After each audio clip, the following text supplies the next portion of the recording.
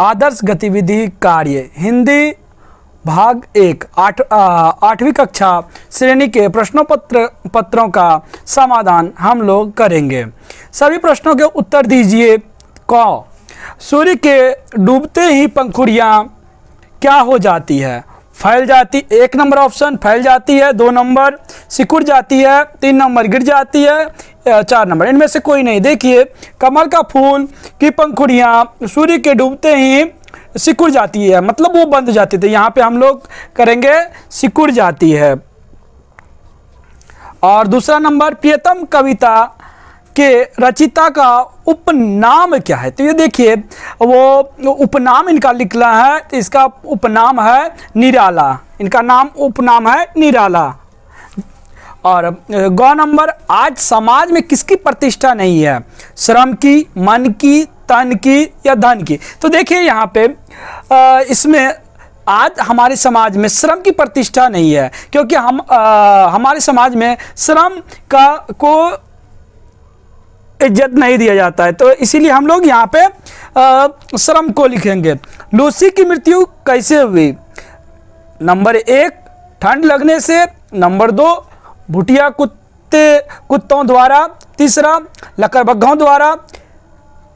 कजली बादल द्वारा। देखिए यहाँ पे, जब वो लूसी सामान लाने के लिए जा रही थी। उसी दौरान लकरबग्घे ने लकरबग्घे से उसकी लड़ाई हुई और वहीं पे उसका मृत्यु हो गया था। तो इसीलिए हम लोग लकरबग्घे में टिक करेंगे।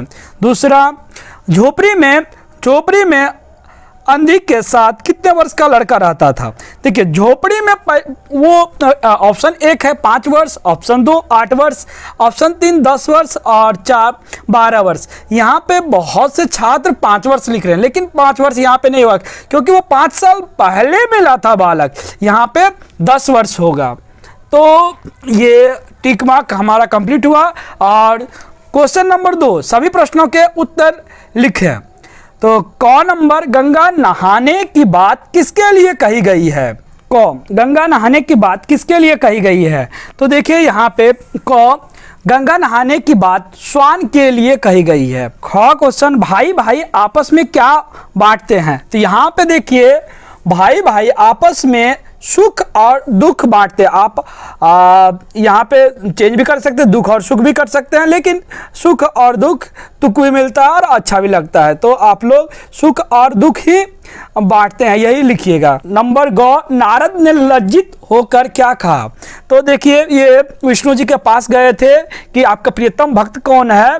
तो वहाँ पे जाने के बाद नारद जी लज्जित होकर उन्होंने कहा था कि आपका प्रियतम भक्त कौन है? तो हम लोग इस प्रकार लिख सकते हैं इसको।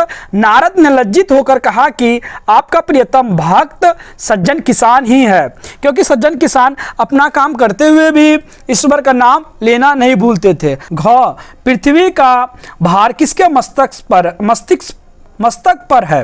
तो यहाँ पे देखिए, पृथ्वी का भार शेष नाग, अंग नंबर, सुभान खान का घर किसका अखाड़ा? तो यहाँ तो देखिए, सुभान खान के घर में बच्चे रहते थे। तो हम लोग लिख सकते थे, सुभान खान का घर बच्चों का अखाड़ा था। तीन को शब्दों के अर्थ लिखे। देखिए, वहाँ किताब में पीछे पाठ के बाद अर्थ लिखा हुआ है। तो एक संवाद। संवाद का अर्थ होता है बातचीत करना जबकि सौगात का आ, अर्थ होता है भेंट। भेंट या उपहार आप कुछ भी लिख सकते हैं।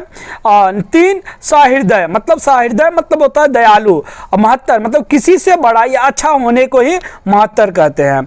जबकि पाँच नंबर, नया विहान मतलब नई सुबह, नया विहान का अर्थ नई सुबह होता है।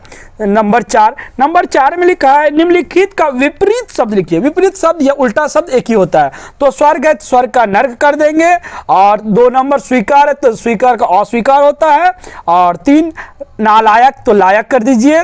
और चार नंबर जीवन जीवन का मरण होता है, जबकि पाँच नंबर उचित उचित का अनुचित कर सकते हैं। नंबर पाँच पाँच में देखिए लिखा हुआ निम्नलिखित का एक एक पर्यावाचिक शब्द लिखे हैं। आप लोग को जो उचित लगे वो लिखिएगा, जैसे भगवान भगवान भगवान का ईश्वर भी होता है, प्रभु भी होता है। आप लोग कोई भी एक लिख दीजिएगा। फिर उसके बाद इज़्ज़त इज़्ज़त इज़्ज़त को हम लोग सम्मान और प्रतिष्ठा दोनों कहते हैं। तो इसमें से आपको एक लिखना है तो आप लोग एक लिख सकते हैं। नंबर तीन प्रातः काल प्रातः प्रातः काल को सवेरा या भोर। तो आप लोग कुछ एक लिख सकते हैं तो सवेरा लिख दीजिएगा या भोर लिख दीजिएगा। उसके बाद चार, नंबर चार पेड़ पेड़ को और किस किस नाम से जाना जाता है? तो ये भी बोल सकते हैं तो वृक्ष और पौधे। तो आप लोग एक कोई भी लिख दीजिए, वृक्ष या पेड़। तो पांचवा नंबर, सौगात। सौगात सौगात का अर्थात मतलब उपहार और भेंट तो होता है तो इसमें तो पर्यावाचिक शब्द लिखना है तो एक उपहार लिख सकते हैं। इस तरह हम लोग के आदर्श आदर्श गतिविधि कार्य हिंदी का पहला आठवां कक्षा का प्रश्न पत्रों का समाधान हो गया।